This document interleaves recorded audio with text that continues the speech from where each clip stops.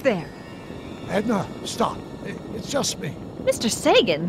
What are you doing here? I was gonna ask you the same question, Miss Pickford. Isn't it obvious? I'm putting an end to your den of iniquity before it starts. I don't think so, Mary. I don't like shooting women, but no one comes between Beauregard B. Tannen and his livelihood. Tannen, stop!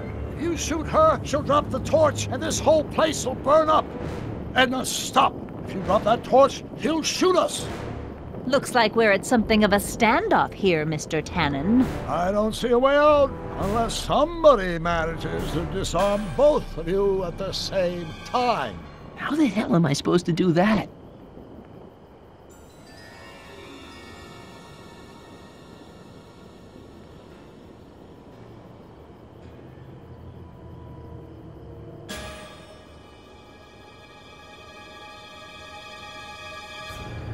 Pickle juice. That ought to be handy for putting out torches. It's too heavy to lift. I wonder what's in these. Oh, stop quiet. God. What the hell? Oh, cow crap! There goes all my pickled pig's feet!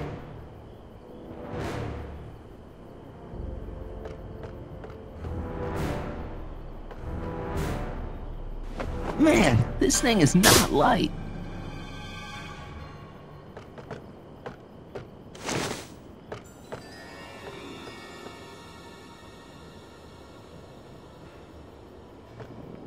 Why are you dressed like that?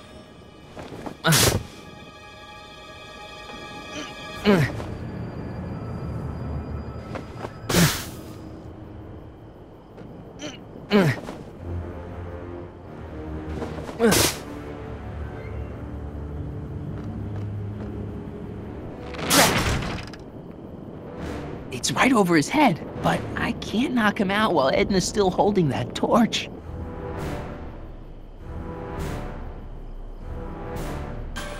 Going down. Looks like your torch is getting a little dim there, Miss Pickford. It's still hot enough to bring down this little bit of Gomorrah, Tannen.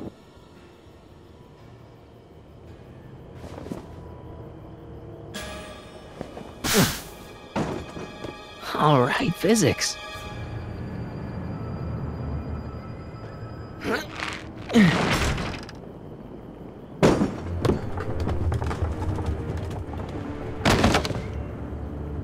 What was that noise? What noise? I didn't hear a noise. Say, that's a lovely chandelier you've got there, Tannen. Uh, Is it French?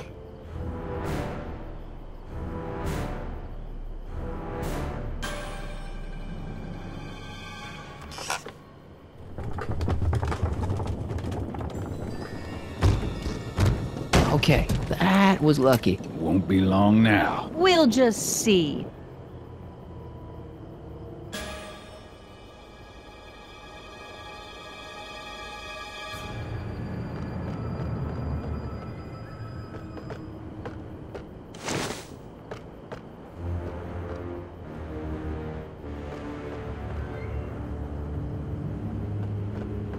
Pickle juice will put the torch out for sure.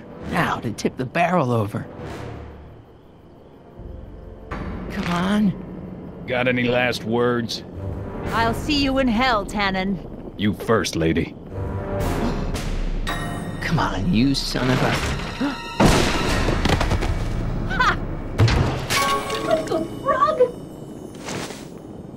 Who the hell are you? I'm the diversion, butthead.